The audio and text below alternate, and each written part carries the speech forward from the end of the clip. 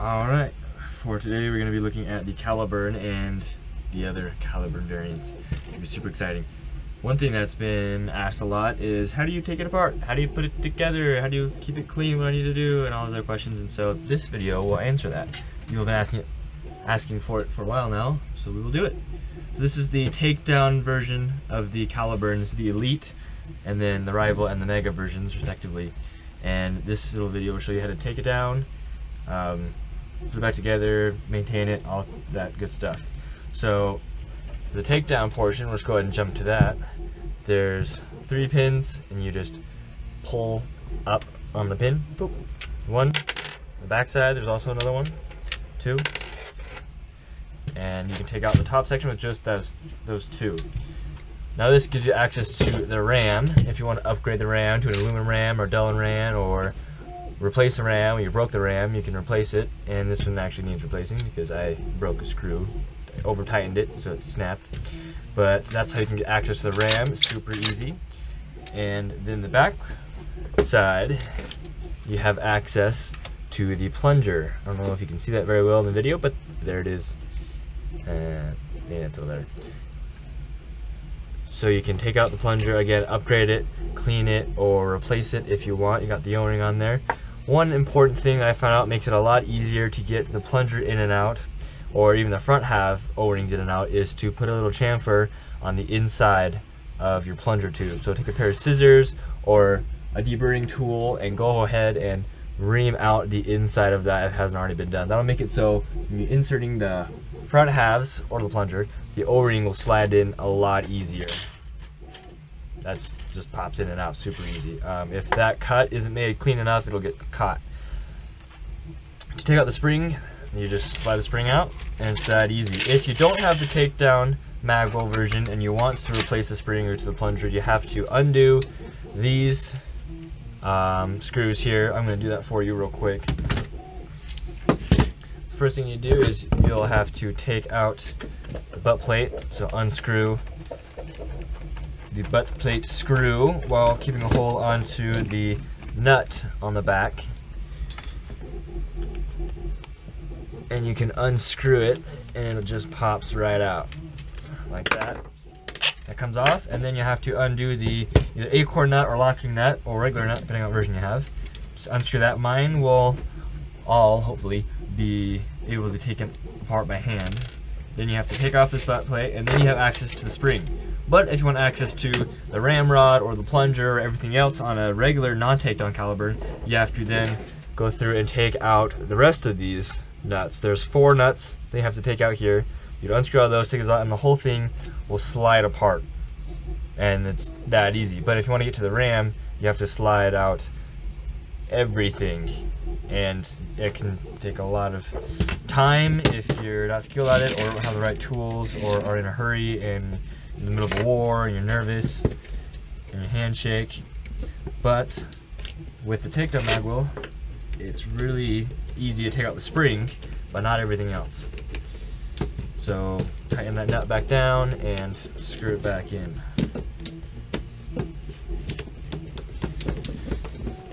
And then to put the front ends back on, switch out the bottom half of the magwell. You just take out the third pin on the magwell here. And there you go, you're ready to put on a new magwell. So let's go ahead and throw on the rival magwell here because that's my favorite. So you've got rival, you go ahead and slide that in. Then you put the pin back in. And if your parts are well machined or well post-processed and drilled out, then you should be able to slide it on with no hassle at all. And these will just slide in, just like that. Then you put the pins in. See if I can do this while giving you guys a good view. One pin. And then the second pin, just like that. There's Mega. You can now shoot some Mega darts. And this one has the aluminum ramrod that I'll probably show you later with the O-rings attached. So it'll, in theory, hit much better FPS. sweet.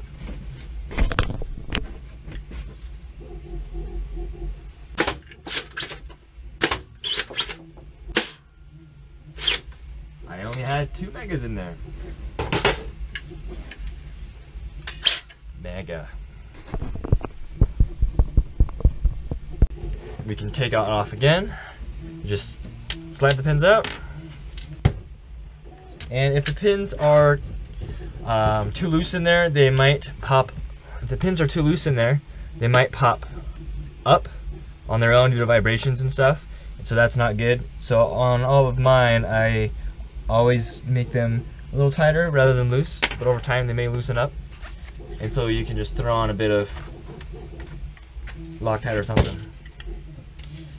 This is the Mega aluminum ramrod. So you won't have any leaks through the barrel, but you may have some leaks through the ram depending on uh, your print quality. And this one leaks through the base a little bit. Uh, but that's easier to fix than leaking through the ram. So there's that. Yeah, it's gorgeous. And then we have the arrival front end.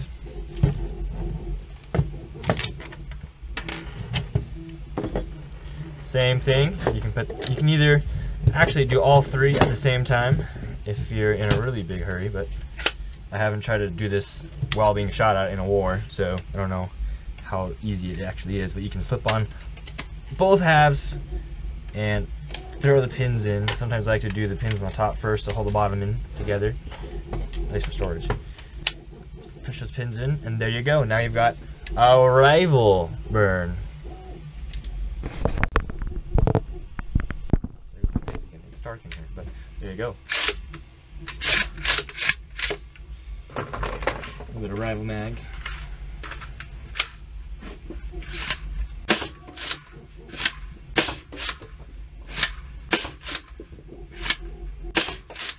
And this is actually the weakest of all the springs. Is that empty? There's actually the hole you can see the rival through if you look, but yeah, it's empty. This is the weakest of all the springs possible, and so I did not shoot those very far, very hard. And to switch back to the Elite version, you just pull up on the pins.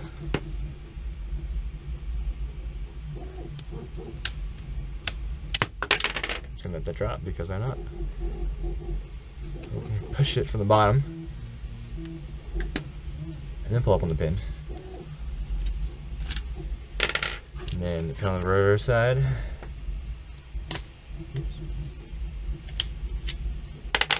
And then the whole front will go, ideally, up. Oh, there we go. Thunder ones came out. And then, go back to the Elite version. Before I do that, there's a couple of points I wanted to mention. Um, you can use Loctite washers on the whole thing. It is possible, um, and not have to use regular uh, hex washers. But you have to make sure that the locking part is pointed forward, like these ones. So they don't actually have a function of locking, but it's the only way to get them in for the couplers. And this coupler has been printed in 100% PLA, 100% um, infill. It's got a 5, 2 millimeter perimeters or wall thickness, so that's five layer thicknesses on a 0.4 millimeter nozzle, and it hasn't broken yet. I've used this in a couple of wars, including two NIC events in the past about month, month and a half, and it hasn't broken yet. My first one that wasn't printed at these settings was printed just at the default settings I used for the old magwells. It broke after you know the first 20 shots maybe, but this one has not fa failed yet. It's got pretty much the full cosmetics on it. It's got the Armax. I didn't like the really long Brella because I never used them and it added extra weight and I had a big problem with weight on it, especially with cameras on the front. So I tried to minimize it as best I could. And the parts in the back here um, are printed at 100% infill to give them extra weight to it. I'll probably have to figure out some way to get even more weight, probably add some aluminum inserts in there or something to give it more weight but this has been very handy in events. It's got um, a D-ring hanger um, for picture frames, so I can have a sling attachment on the top back because it doesn't have any rails in the back, and it only has spots for sling points on the bottom, and that wasn't as ideal as having it on the top. And so I added a D-ring hanger on this Caliburn. All my other Caliburns I use for myself have this D-ring hanger, and they actually work really well.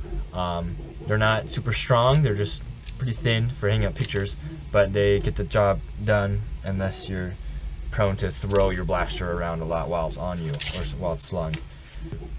A lot of caliburns don't have the black spacer rod on the thumb hole stock because you have to cut off about a quarter of an inch um, to half an inch in order to fit the thumb hole um, stock um, around the spacer rod. So a lot of people have it off, but I didn't want a silver rod sticking up the back. It would look kind of weird, so I left it in and I cut it down. And that's it. I've also never had a sear or trigger break or fail or even wear out on my caliburns or anybody's caliburns who I've sold to, and least I haven't mentioned it. But if you wanted an aluminum piece, that's doable as well. Um, the foam back plate, butt plate on a lot of caliburns, if your rods are just the right size, which I used to make them, and it doesn't stick out this extra little bit, I don't really like it because it looks bad, but it's not sticking out too much. But what it does is it'll help if the butt foam rotates, because they often do that. It'll rotate, and this will keep it centered at least to some degree, so that way it's not flipping out sideways. Onto the Caliburn itself, this is an 18 inch barrel um, without scar, and it, um, it's got muzzle plate, uh, trench piece to hold it in place, keep it tight. Screws on either side. It does make these little indents in the barrel that some people do not like, and I personally don't like them either, but there's not really an easy way around it, and it's purely aesthetic. It doesn't affect function in any way, so it doesn't really bother me. That's about it.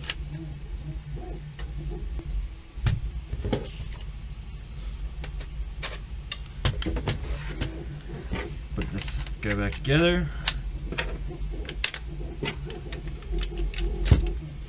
And I had to move my scope further up than normally. Would usually sit about right here, but because of the pins, couldn't get it out. So, there you go. Elite Caliburn K31 spring, about 150 FPS with just a K31, or 135 FPS.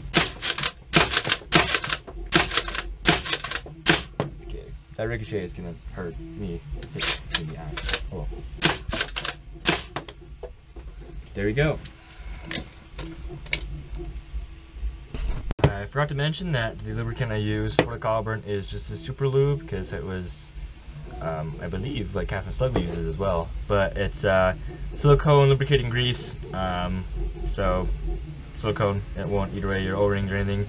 Um, I don't know if you can find this in a lot of hardware stores. I actually looked at my local Lowe's and Home Depot and they didn't really have very many good lubricants that were in a big enough container or silicone based weren't sprays. Lowe's had like only all sprays, which was weird. And I even looked in the plumbing and hardware section, and plumbing didn't have very many good things either. But I'll look back. But anyway, silicone lube, super lube, good stuff. And the scope I'm using is just a red dot sight because I only need it to help with aiming left and right. Elevation I can kind of gauge with my own um, sense of distance. However, it would be cool if they had a scope that um, had elevation lines on it, but I, this is probably the cheapest one I could find on Amazon as well, and so it definitely gets the job done. There you go. Also, spring uh, sling mount for the upper portion is still lacking on this. Before I had a piece of parachute cord going through one of the holes in the railgasm um, that I linked to, and that actually worked a little better than this because this is kind of gets in the way. It's a little larger, bulky, but I can't do that anymore because the R-Max. So I don't know what I'm gonna do, but I'll figure out later.